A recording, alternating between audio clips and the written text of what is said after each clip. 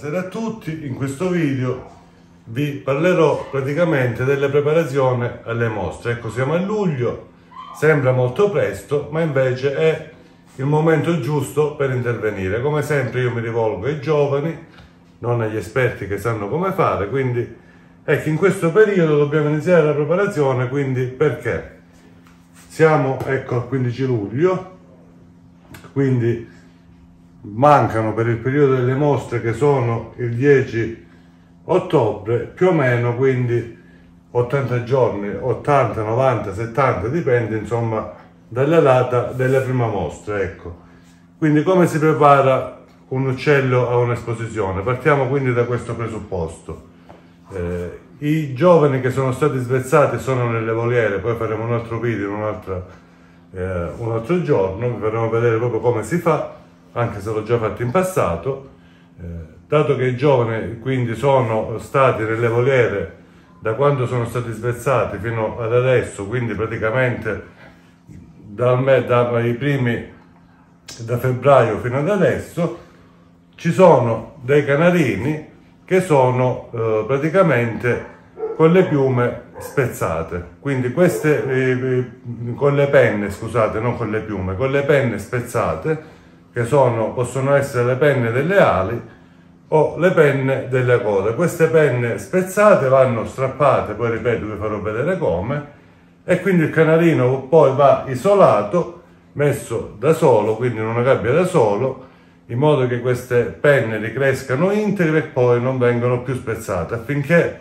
questo avvenga, naturalmente il canarino deve restare da solo da adesso fino a al periodo delle mostre, che ripeto, sembra tantissimo tempo, ma in realtà non lo è, perché se voi considerate che ecco, siamo al 15 luglio, fino al 15 settembre sono passati 60 giorni, quindi se considerate che quando strappate una penna occorrono più o meno 55 giorni affinché questa ricresca completamente, quindi capirete che occorrono quasi due mesi e poi gli altri giorni che rimangono, 10-20 giorni in più che diciamo rimangono, il canarino potrà stare tranquillo nella sua gabbietta. Ecco, poi quindi ecco, in questa prima fase noi scegliamo i soggetti migliori, i soggetti più promettenti, quindi facciamo questa operazione di metterli da soli, poi andremo nell'altra stanza dell'allevamento per farlo vedere come facciamo, e quindi ecco, solo i soggetti migliori vengono, diciamo così, messi in isolamento, quelli che naturalmente si riescono a intravedere.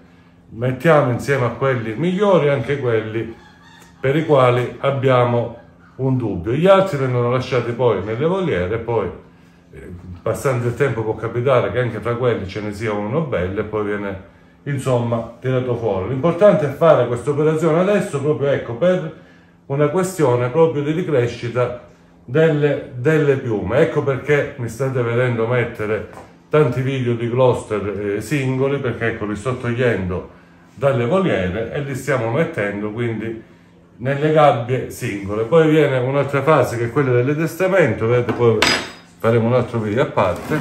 L'addestramento per esempio che per i nordici avviene in questa gabbia e per i cluster in questa gabbia. Tanti confondono queste due gabbie ma non sono la stessa cosa. Vedete che questa gabbia dei Norwich è più alta, vedete che è proprio più alta, ed ha invece però più o meno la stessa lunghezza. È solo leggermente, diciamo così, più alta. Ecco, quindi poi i canarini vanno abituati a questa gabbia con una tecnica, questa gabbia viene appesa alla gabbia, diciamo, dove sono alloggiati e poi loro da soli entrano ed escono da queste gabbiette e si abituano poi per le esposizioni. Quindi ecco, proprio esattamente come per un concorso di bellezza femminile, anche per i canalini, avviene una toilettatura, quindi vengono presi, lavati, sistemati e si aspetta quindi il periodo delle mostre che eh, generalmente inizia intorno al 10 ottobre, poi si protrae fino a gennaio e termina poi con i mondiali. Grazie a tutti, quindi spero sempre di esservi utile. Ripeto, faremo poi un video più dettagliato su come si prepara un canarino alle esposizioni.